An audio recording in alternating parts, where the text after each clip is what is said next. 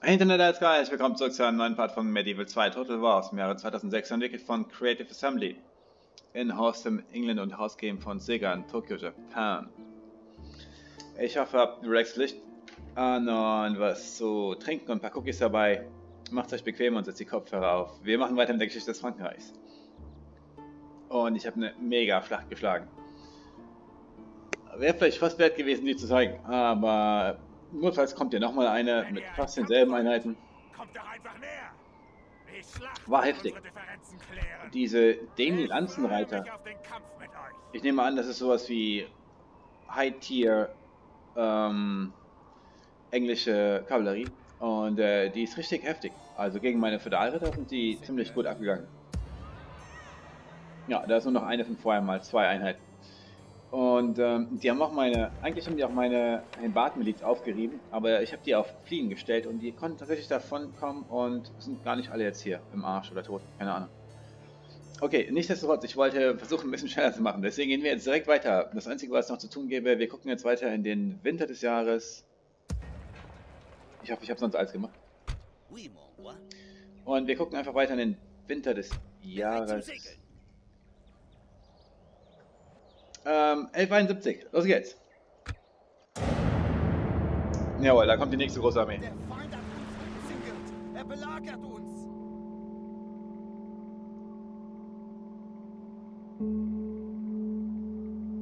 Ach, wir gehen natürlich weiter in den Sommer des Jahres 1171. Habe ich Winter gesagt? Ich war gerade ein bisschen abgelenkt.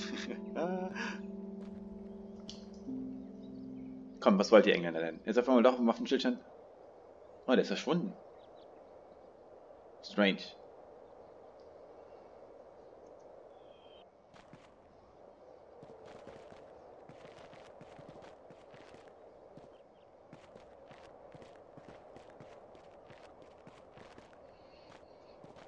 Ja, zum Glück geht er zurück. Irgendwann wird es vielleicht noch was mit Friede zwischen uns. Oh, ich muss mal gucken, wie inzwischen mein Ruf ist. Da ich auch diese riesige englische Armee, das war auch ziemlich geschickt. Ich habe weder meinen Ruf ruiniert, da ich sämtliche Gefangenen freigelassen habe und das waren nachher eine Menge Gefangener, weil das so eine Massenflucht war. Das war echt ein Riesenkampf auf einer echt breiten Front. Oh mein Gott. Ich wollte ja nie wirklich, dass die Byzantiner ihre Hauptstadt verlieren. Ich kann heute nicht mehr weiterreisen. Was war denn das für eine Armee? War das gerade... Das sah aus wie... Ich nehme an, das war ähm, ägyptisch. Wir hatten hier so ah, gesagt. Wir gucken mal erstmal. Äh, wird sich viel getan haben. Aber ich wollte mal eben hier schauen, was sich hier getan hat. Ist das eine ägyptische Dschihad-Armee? Ach du Schande. Die ist voll.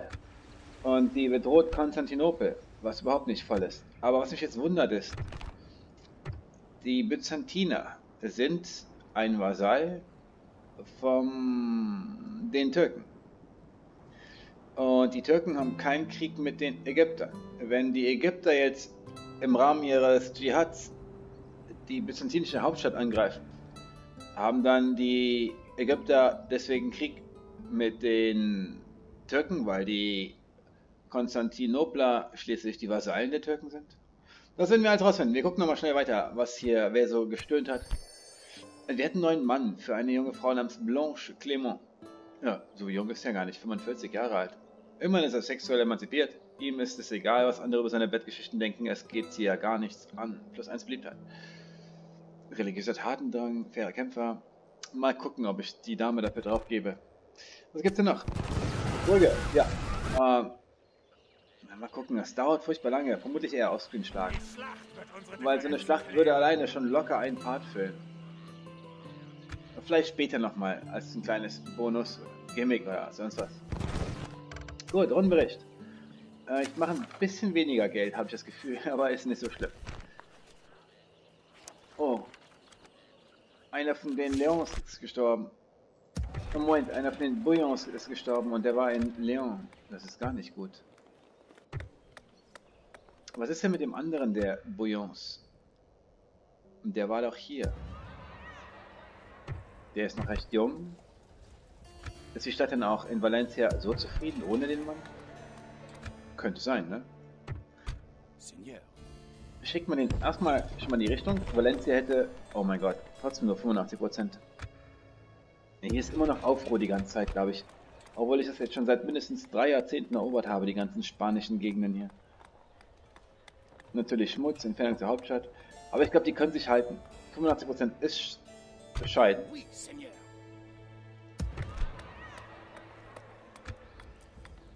Oh.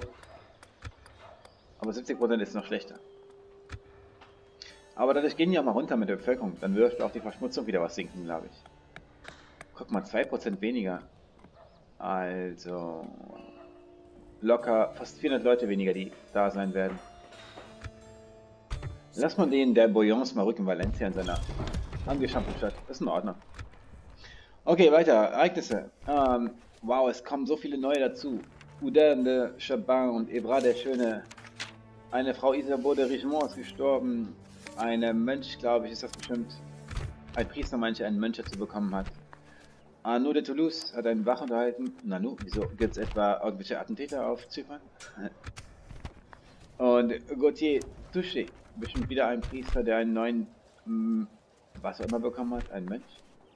Clément Donlé, der ist in, äh, oh, ein Werk. Bekommt auch noch Dichter dabei. Henri de Chaban, der müsste, ist das der in, ne, der ist in Lissabon. Der bekommt einen Aufseher. Nachlass auf Baukosten nur 1% und äh, plus 1 Anbauertrag und plus 1 Bonus auf Minenerträge. Okay, dann spannend bleibt das hier. Naja, so viel ist hier ja gerade auch nicht, ehrlich gesagt. Bern, was haben wir denn da? Schon wieder mal zwei Attentäter vom Reich. Super. Ähm, ich möchte als nächstes die fürstlichen Stelle bauen, damit ich hier auch schon mal die neue Zitadellen-Level Kavallerie komplett bauen könnte. Die fürstliche Stelle bringen mir ja immer ein bisschen hochmittelalterliche Ritter noch, die ich ja noch haben will. Jo, machen wir das her. Genua hat ein Lager ausgebaut. Ui. Ich glaube, jetzt will ich doch erstmal eben kurz hier auf ein bisschen, da das eine der drei Metropolen ist, ich habe, gehen wir mal ganz kurz einmal auf ähm,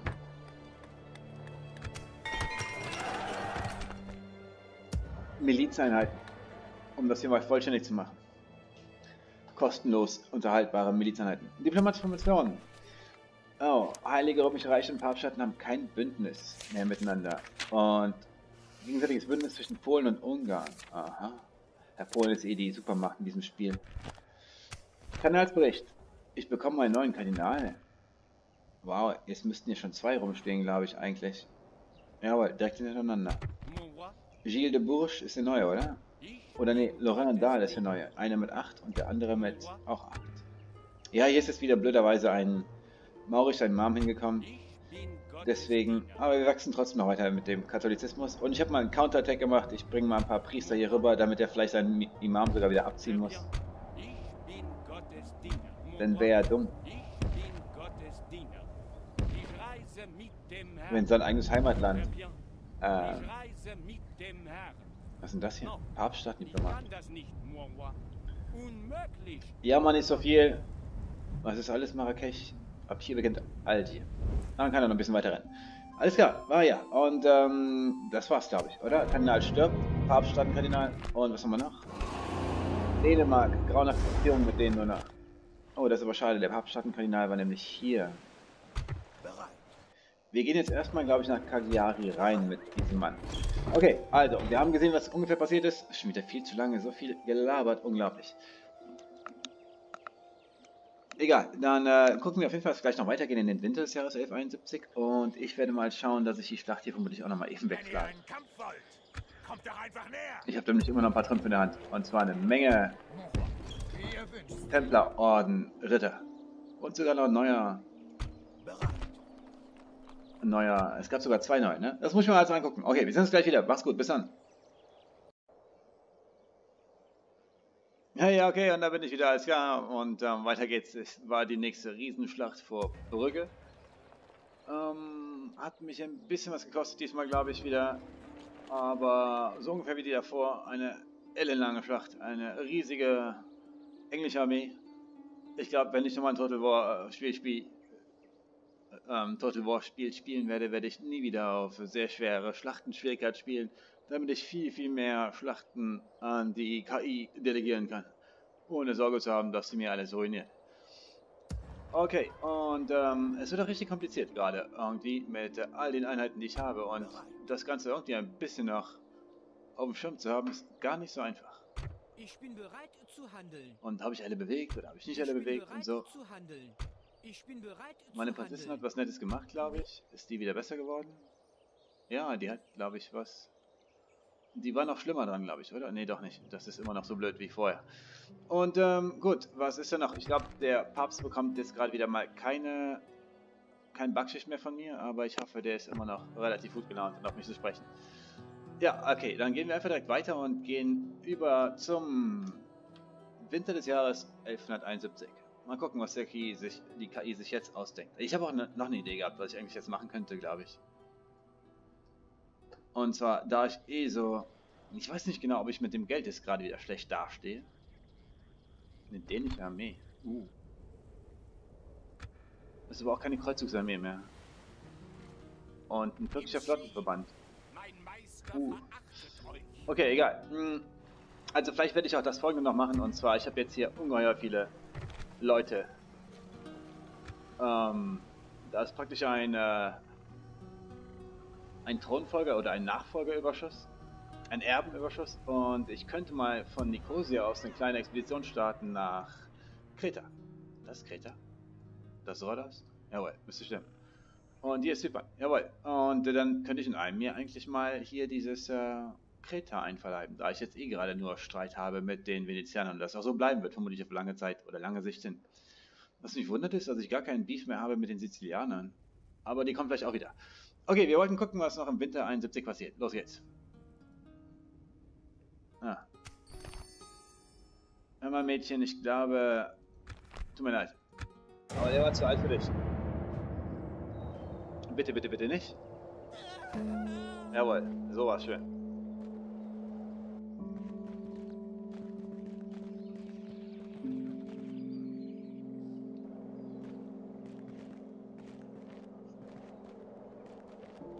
Na, will das Heilige Römische Reich etwas wieder Ärger haben mit mir.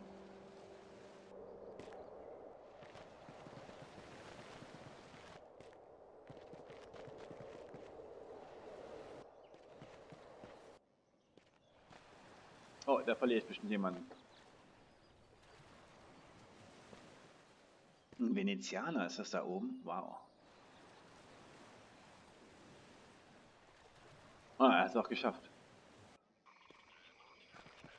Hm, die Schotten bauen auch langsam eine... Wow, die haben es geschafft. Die Byzantiner haben es geschafft, diese ägyptische Dschihad-Armee abzuwehren. Bitte nicht. Keine Toten.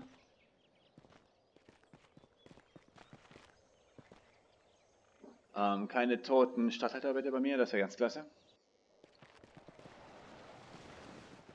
Und die Papststaaten scheinen auch ordentlich mitzumischen.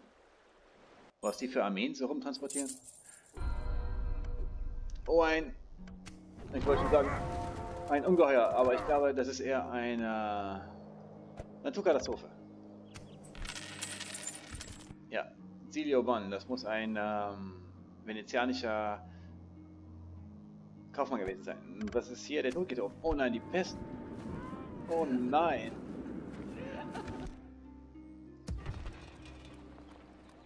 Okay, das verstehe ich nicht ganz. Also, auf jeden Fall die Pest. Segne uns Gott. Die verfluchte Seuche hat zugeschlagen und gute Menschen versterben nur kurze Zeit, nachdem sie sich die schlimme Krankheit zugezogen haben.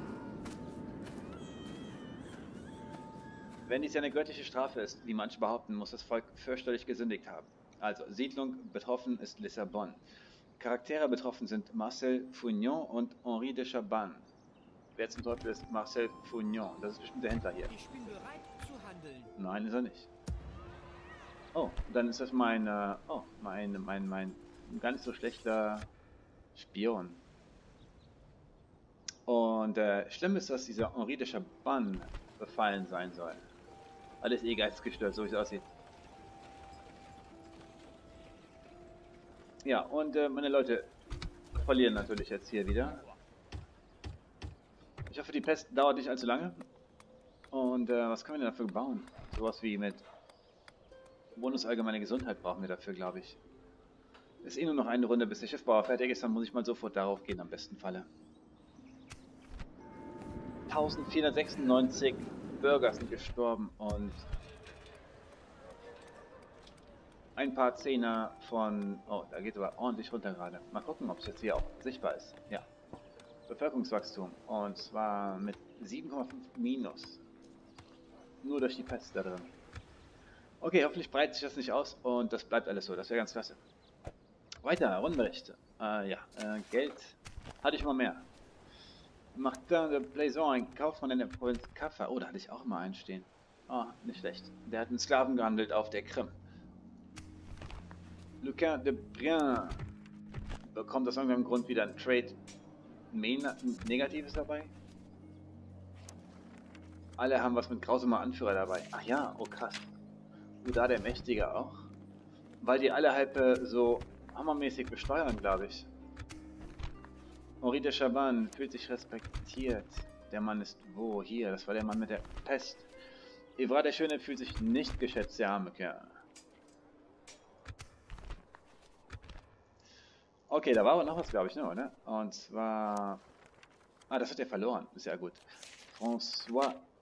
Oder Fran François hat eine Edrüstung erhalten. François befindet sich wo? In der Judge, der Zitadelle. Oh ja, der muss, glaube ich, gerade hier den Super Schmiedemeister schon mal fortgebildet haben. Das bedeutet, wir können denen jetzt endlich auch Vollplattenrüstung bieten. Und der bekommt auch eine Vollplattenrüstung. Jawohl. Okay, das sehen wir aber jetzt. Den Baubericht gehen wir noch zusammen durch. Ah, Giorgio, wie gesagt, den Rüstungsschmiedemeister. Ich muss noch einmal was bauen, dann bekommen wir Plattenpanzer. Nochmal sieben Runden. Wow. Toledo das Lagerhaus. Ähm, machen wir hier mal als nächstes Mal die Verwaltung, falls die Pest sich ausdehnen sollte. Antwerpen, die Baumeisterwerkstatt. Damit ist Antwerpen auch voll. Ist sogar schon auf normaler Steuersatz. Hier ist aber auch die gesamte Armee drin, die ich ähm, immer noch für die Dänen aufbewahre.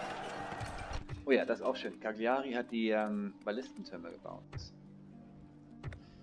Ich würde gerne direkt auf die königliche Stelle gehen, damit ich die Lanzenreiter hier zur Verfügung habe, oder?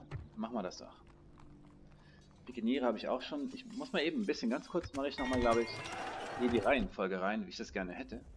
Und zwar du als erstes, danach du. Und dann hatte ich, glaube ich, wie war denn die Reihenfolge nochmal? Zuerst die Adelsritter, glaube ich. Danach Helmbart-Milizen, dann die normalen ähm, Sergeants und dann die Pikeniere. Die Helmbart-Milizen, normale Typen, die und die und die. Ihr werdet alle die Standardgarnison werden. Und du und du und du. Euch wollte ich eigentlich wieder mit nach oben nehmen. Ja, das machen wir auch direkt, glaube ich. Segel setzen.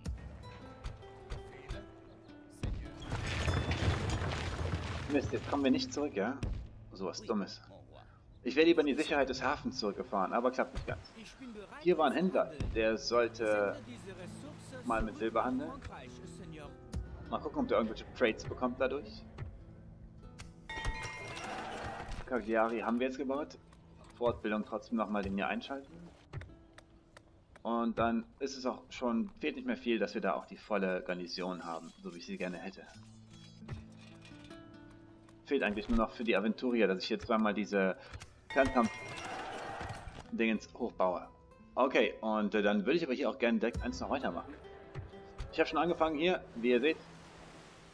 Ich werde wieder mal versuchen, alles zuzupflastern mit äh, Wachtürmen. Hier geht keiner hin. Hier geht einer hin. Oh, ist ja nicht so schlecht jetzt. Dann machen wir einen, glaube ich, als nächstes nochmal hier in die Mitte vielleicht. Oder doch da.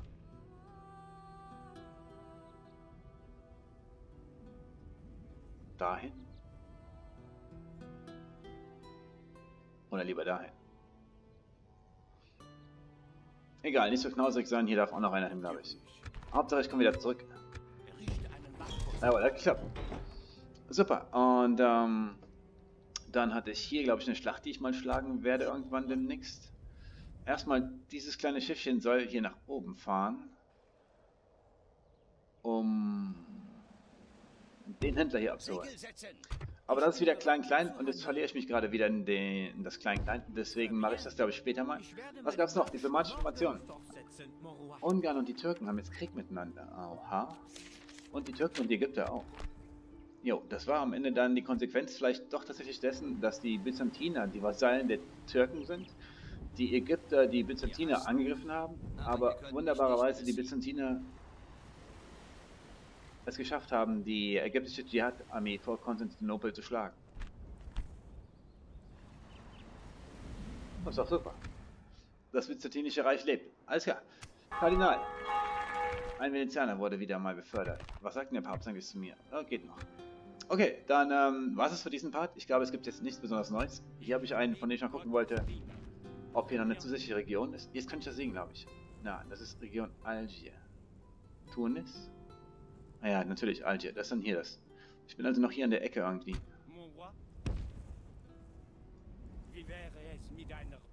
Gut, was ist das da für eine flotte Papststaaten, oder? Ja, mit ordentlich Einheiten dran. Drin.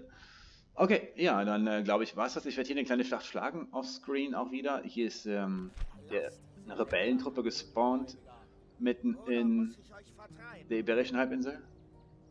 Oder auf der Iberischen Halbinsel. Ich bringe mal von unten schon wieder Verstärkung mit, die dann dafür sorgen könnte, dass, äh, falls er die Brücke wirklich halten kann irgendwie, sollte ich in der Lage sein, ihn einzuklemmen und auch von hinten anzugreifen, sodass ich nicht über die Brücke hinweg angreifen muss. Sonst war es das, glaube ich. Oh, jetzt geht der Imam leider woanders hin, ne? Muss man ihm nachgehen.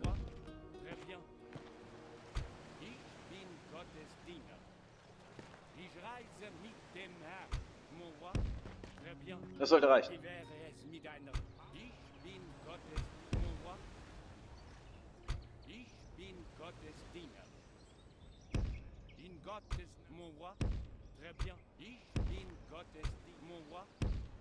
Okay, wir bekommen hier irgendwann überall nochmal 95 plus X hin, glaube ich.